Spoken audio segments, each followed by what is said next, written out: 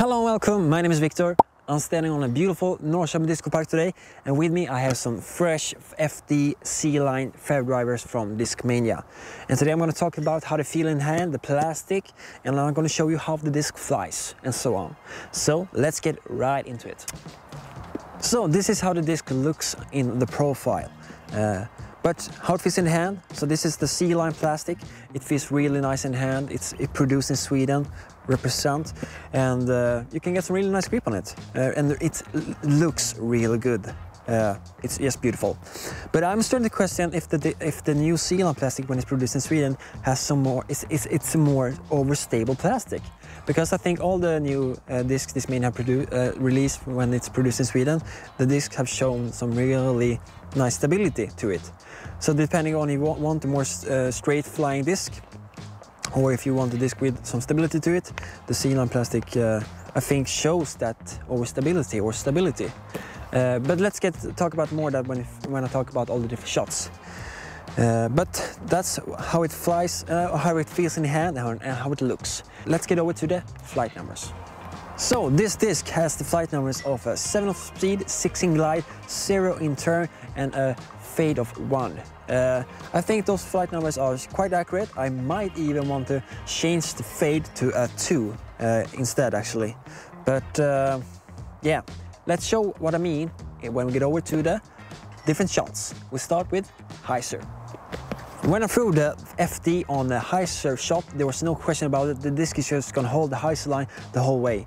I actually throw in a bit of a, a headwind, but uh, the disc never really want to uh, flip up to flat or anything like that.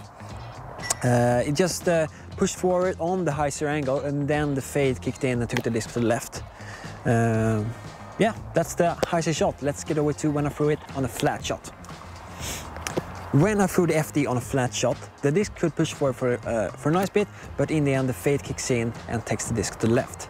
But here I want to talk a bit about more about the stability, uh, as I mentioned earlier.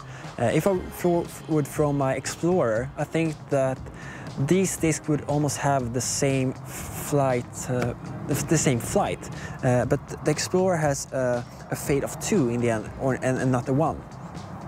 And I would almost even say that the FD one, the FD feels more stable than the than my Explorer. But I think almost that the FD deserves the two in fade. I think it's so stable. I do.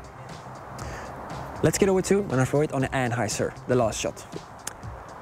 When I threw the FD on the anhyzer, here once again we can see the overstability of the disc. Uh, the disc pushes forward in the anhyzer angle, but quite early fades over to the left uh, and uh, fades left. Uh, yes, uh, one, one, one disc just uh, flipped over, faded really early and the disc to the, to the left and one pushed forward for a bit long time and pushed some nice distance. But overall, overstable disc, I would say. So let's summarize this disc. So what kind of disc is the new FD from Discmania?